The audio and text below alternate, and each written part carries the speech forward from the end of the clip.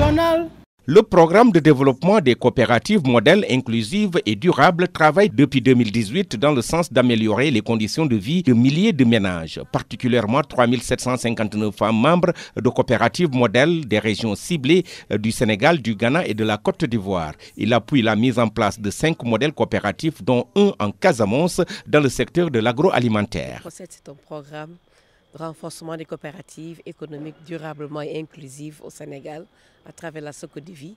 La Socodivie est une ONG internationale canadienne qui intervient dans le développement organisationnel des coopératives dans le monde.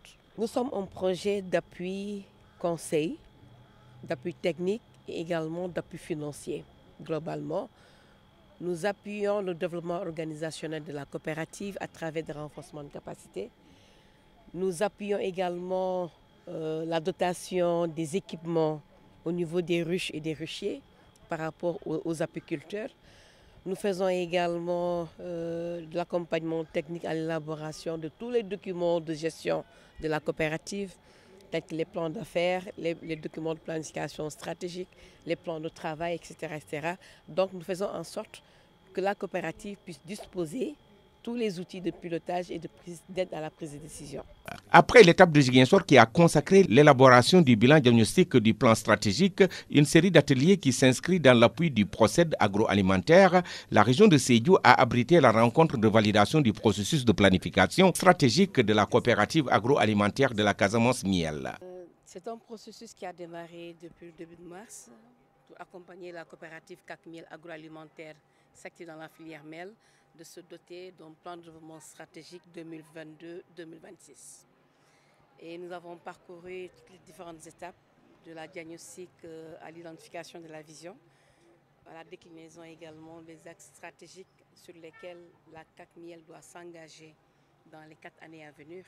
Et c'est aujourd'hui l'étape de la restitution avec les autres acteurs, c'est-à-dire les services techniques, les collectivités locales, les ARD, les chambres consulaires et éventuellement les banques pour apporter leur contribution pour pouvoir avoir un document de qualité, un document de base, un document de référence pour la coopérative Cacmiel. Le processus avait démarré il y a quelques semaines. Euh, nous étions à Giguinchor pour faire euh, le bilan des diagnostics qui, qui, ont été faits et valider aussi les bilans, partager les résultats du bilan diagnostic avec le consultant. Et à la suite des travaux, euh, le consultant doit tenir compte de toutes les suggestions, des commentaires qui ont été émis lors des deux jours de travaux pour euh, les intégrer au sein euh, de ce plan et ensuite il y aura une dernière validation après avoir intégré ces remarques. Promouvoir l'égalité des genres et autonomiser les femmes est un des plus grands défis pour les acteurs de ce secteur porteur d'espoir dans la région naturelle de la Casamance. Le secteur genre, vous savez que euh, le partenaire qui est en train de nous accompagner, qui est euh, Socodivi Proced, qui est financé par euh, le gouvernement canadien, eux, ils tiennent beaucoup à cet aspect-là, l'aspect genre.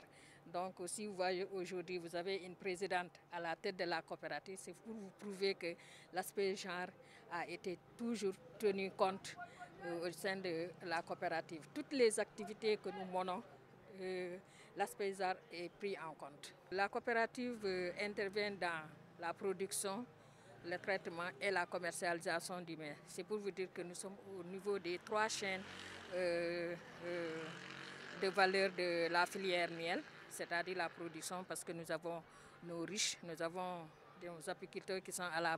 Malgré un énorme potentiel, le secteur apicole est pour l'instant victime de plusieurs facteurs freinant considérablement son développement. Malgré la diversité climatique qui joue en faveur de l'apiculture, il y a des difficultés qui perturbent la quiétude des acteurs. Les différentes rencontres initiées ont permis de faire le diagnostic du secteur apicole en Casamance et de relever les contraintes de la filière. Lors de, du bilan diagnostique, il a été ressorti quatre axes. Parmi ces quatre axes, il y a un axe qui tient en compte ce volet de la production et de la commercialisation. C'est pour vous dire que c'est un point très très important euh, qui est pris en compte dans l'élaboration de ce plan. Dans le contexte de crise qui a précipité la région naturelle de la Casamance dans l'horreur, il était difficile de tenter de développer l'apiculture dans cette zone pourtant très propice avec ses terres fertiles. Actuellement, comme la paix et la stabilité s'installent confortablement, le secteur commence à renaître. On constate un retour progressif des organismes et des investisseurs.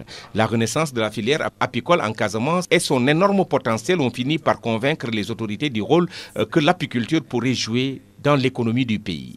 Déjà, le secteur est un vrai pourvoyeur d'emplois et pourrait contribuer à résoudre en partie le problème du chômage en milieu rural.